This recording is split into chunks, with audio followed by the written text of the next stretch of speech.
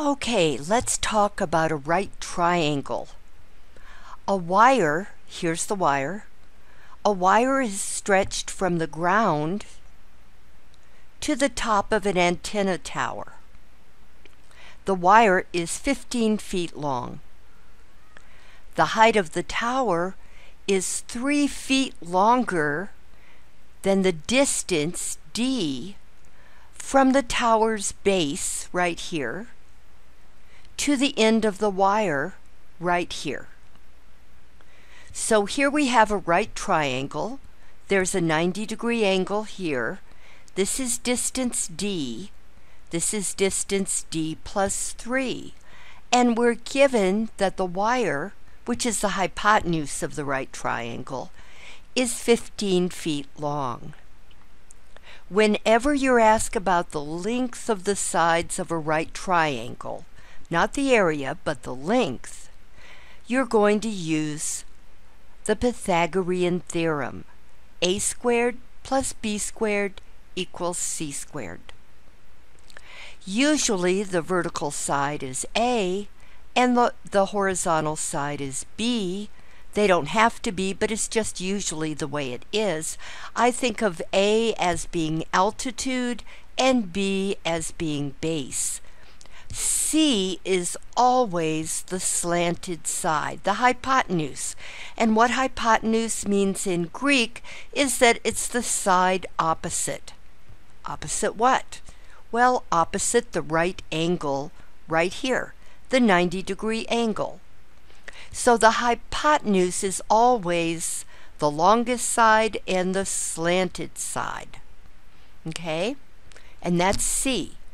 So, since our formula is a squared plus b squared equals c squared, since a is d plus 3, I put it in parentheses here and square it.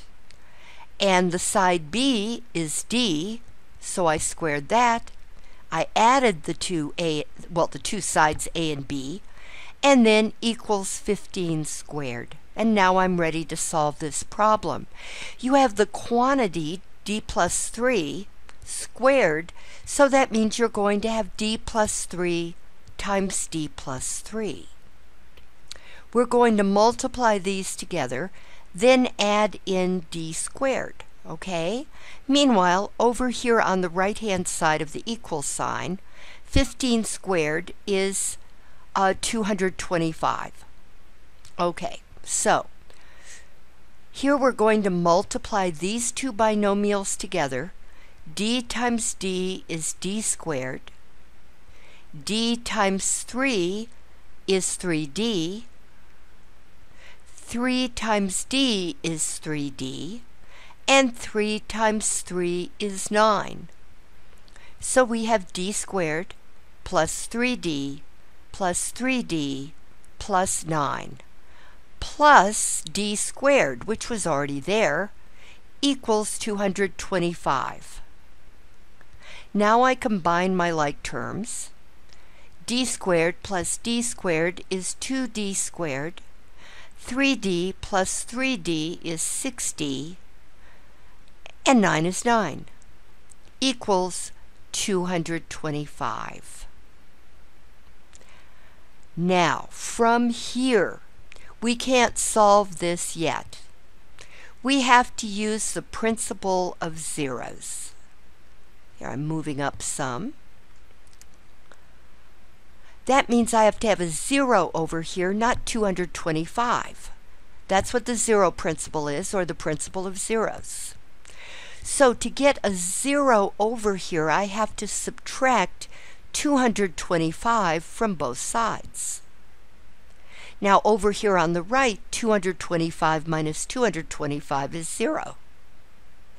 Over here on the left, I'll have 2d squared plus 6d plus 9 minus 225 is minus 216.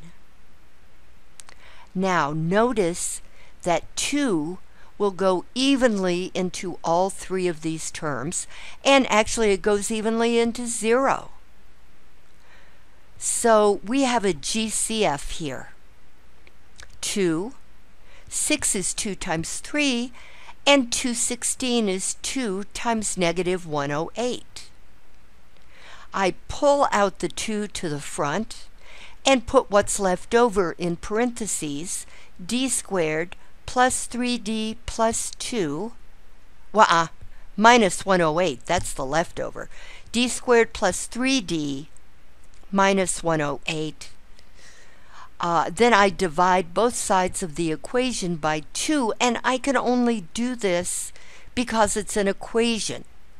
Equations let me do wonderful things because I can do exactly the same thing to both sides of the equation. Okay, once I once I cancel out my 2's here, and 2 goes into 0, 0 times, I have d squared plus 3d minus 108 equals 0. Now I have to factor my negative 108 into all of its factor pairs. Um, I've got to move this up.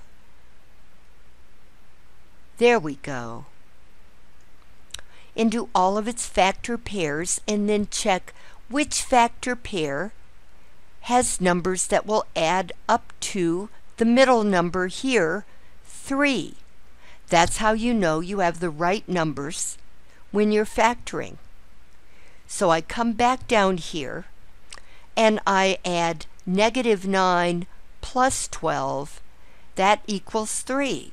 So negative 9 times 12 is negative 108. Negative 9 plus 12 is positive 3. So I take my negative 9, I put it in here, and it becomes minus 9. I take my positive 12 and put it in here, and it becomes plus 12. So I have d minus 9 times d plus 12 equals 0. Now I, fact, I, I set each factor equal to 0. 9, uh, d minus 9 equals 0 d plus 12 equals 0. And then I solve each of these little equations, and I come up with the solutions, which are d equals 9 and d equals negative 12. Solutions to what? Well, solutions to d squared plus 3d minus 108 equals 0. So now I have two answers. Remember that we're looking for this distance right here. There's no such thing as a negative distance. Not unless you're being not unless you're in a, a physics class. You do deal with negative distance there, but we don't here. So, I'm assuming that d equals negative 12 is a nonsense answer but D equals positive 9 is a good answer. So D is going to equal 9. D plus 3 is going to equal 9 plus 3, which is 12. So the distance, the distance D is 9, and the vertical distance here is 12. Now you go do this problem. You try it all on your own without my notes, and then check the notes. And then do it for yourself. Talk to you later.